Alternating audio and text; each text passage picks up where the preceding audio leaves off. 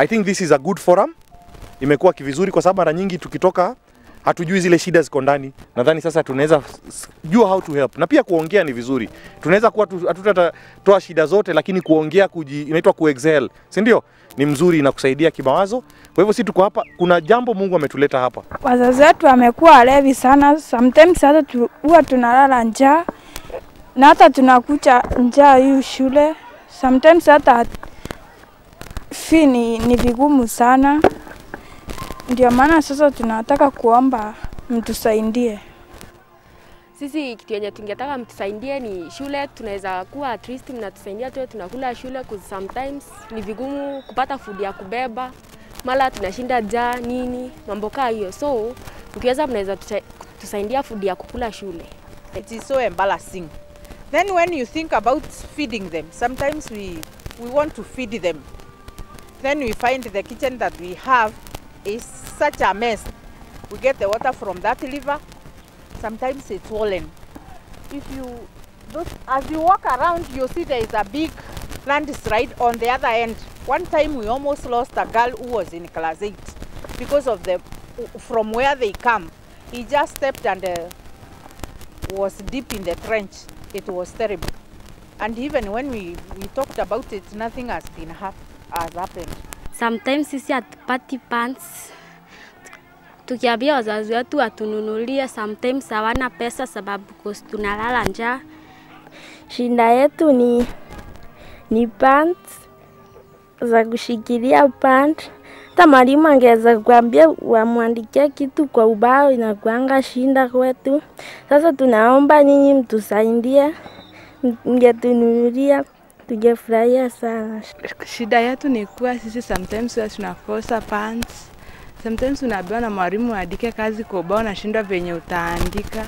Siku zingine kuna mashida huko nyumbani, unakuta unalala aja, una shida aja. Sometimes unaambia mzazi akununulie sanitary pants, unashindwa anashindwa kukununulia juu pesa. Siku nyingine wazazi wetu wanakuwa wanakunywa pombe.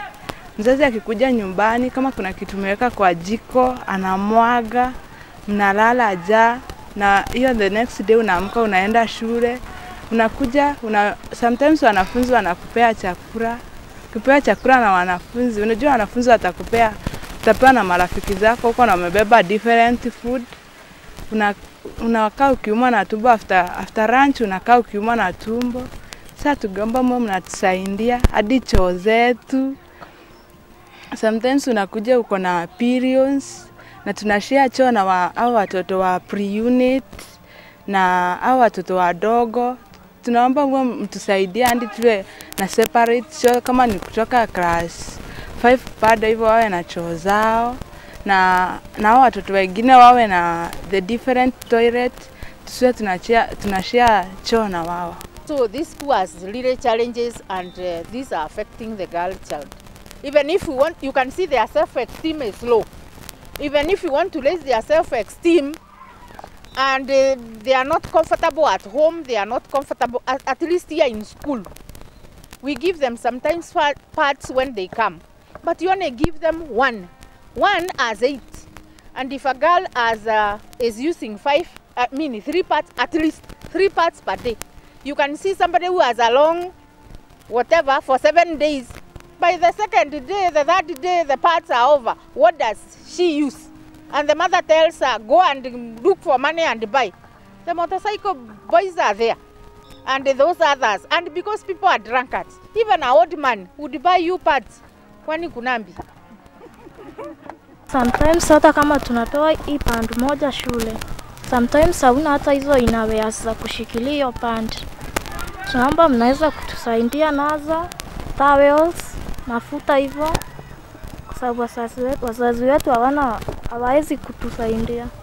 So we are appealing to, because these are children, whatever you find um, good to partner with us, we promise that we will not let you down.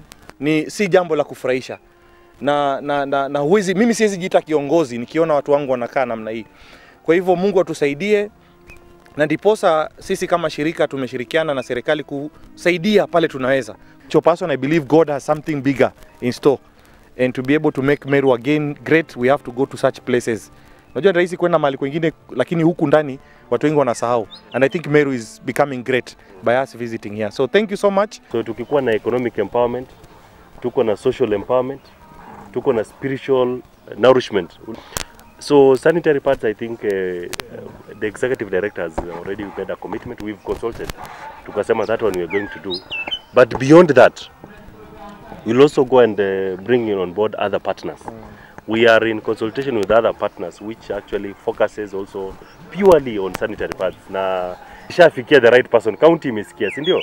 Spread Truth Africa International Organization imesikia, si ndio? Na tuta project your voice kabisa, uh, Madam Principal, Yeah. to all other partners.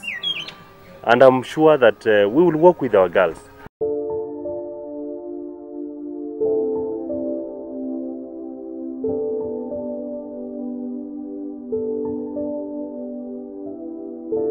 Um, this initiative that your team and uh, organization has started is quite impressive.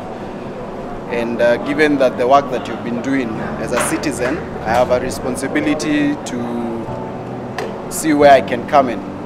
And uh, through friends and family, uh, we have been able to put something very small together to also support this initiative and we are happy that the turn turnaround was very good and also the call by the various uh, by various people was honored for us to make this successful.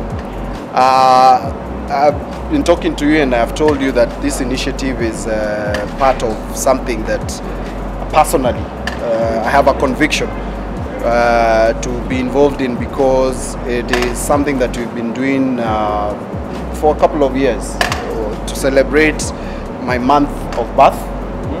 And uh, we we have had different projects every other year uh, through the support of friends and family. I cannot have done this alone. So a couple of years back we started this and I thought uh, every time there is my my birthday is around we only come together and friends eat drink and nothing impactful probably happens. And probably we could do something that uh, could help other people out there.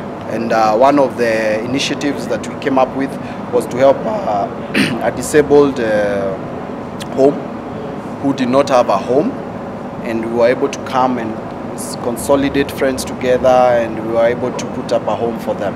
Now this year is a change to that and we decided that probably we should find another project to do and we grappled with the idea of what to do this year but uh, fortunately enough i have been following the works of the national youth council online and they keep popping up on my status which i uh, you know i was able to identify that you've been working with the various uh, needy pers- people in the society and especially the youth. And in particular the Kajiado one that is what really uh, attracted me uh, where young girls were even you know uh, selling out themselves so that they could at least afford a, a, a pad it's unfair. These are things that they are supposed to be accessing them uh, freely. And in fact you know it's something that I'll call even being a branch of the government that probably it's an initiative that you could probably uh, address through the government and have our young girls who cannot afford some of these facilities uh, to have them free of charge.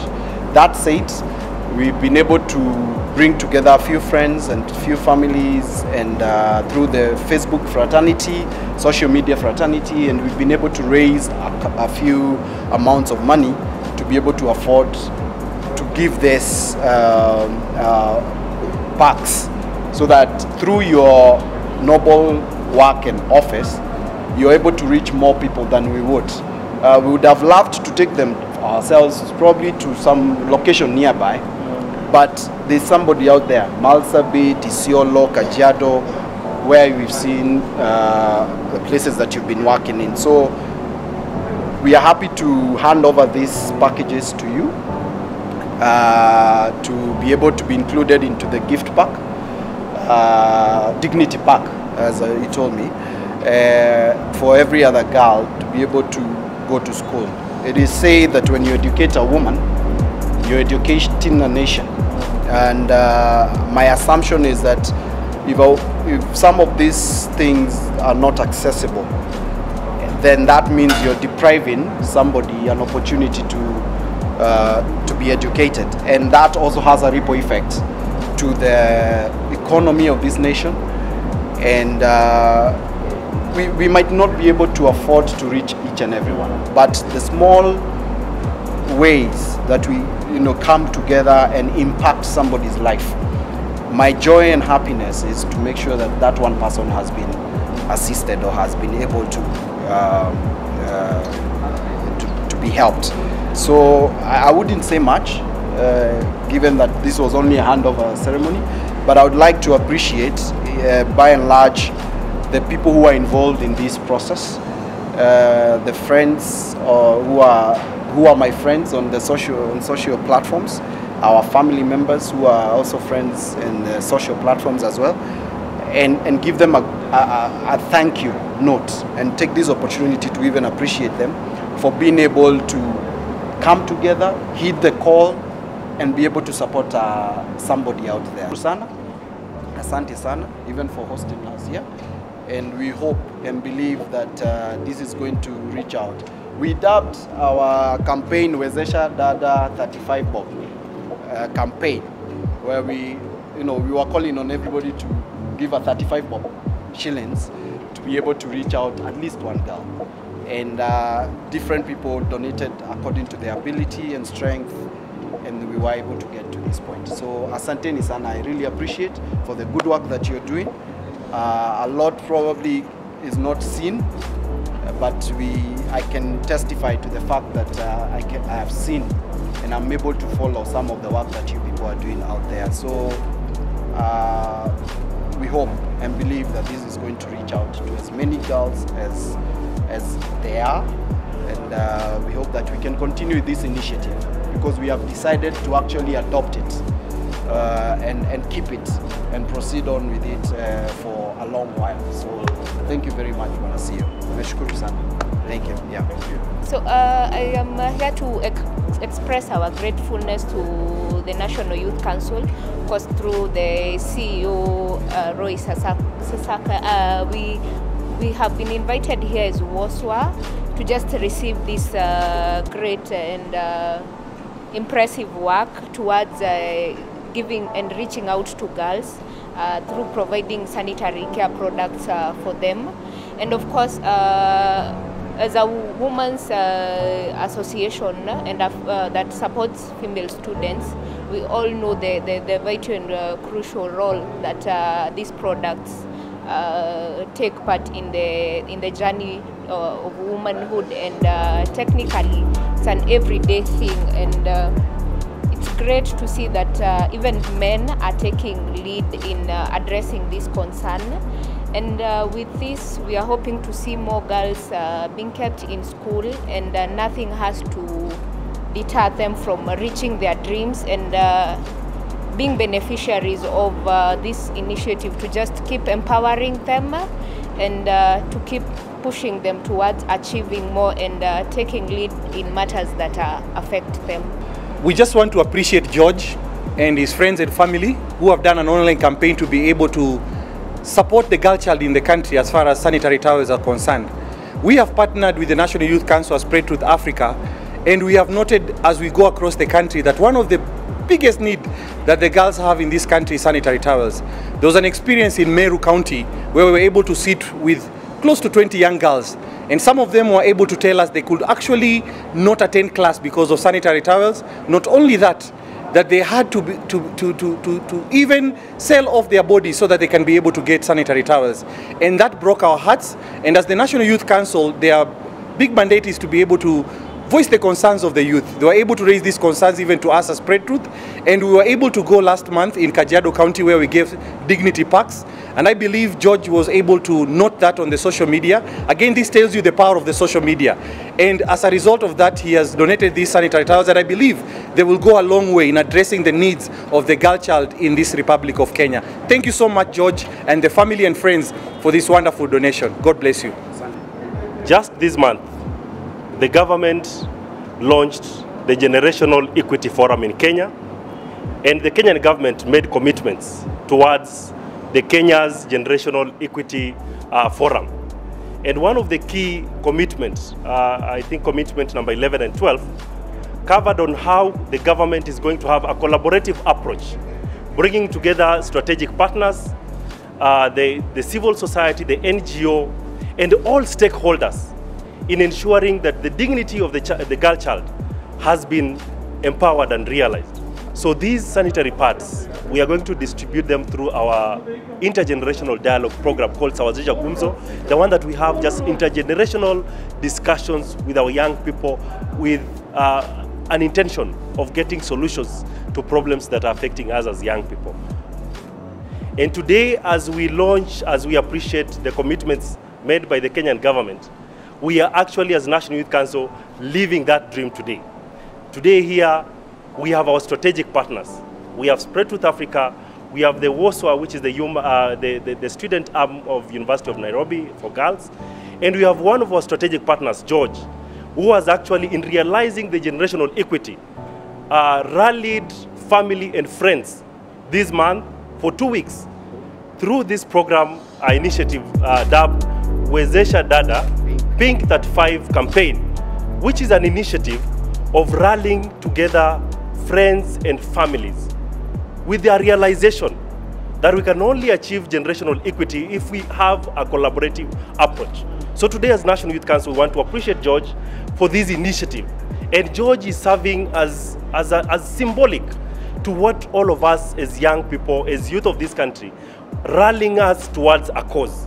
And I just want to reiterate that as National Youth Council and with our, our partner Spread Truth, this is what we believe. This is an agenda that we want to rally the youth voices across the country to champion in ensuring that the girl child is empowered, the girl child has a safe space, and the girl child can equally uh, participate in all spheres of life. And as National Youth Council, we just want to applaud uh, this initiative, and we say that this is a commitment we are going to champion and ensure that we rally this across the country. Thank you.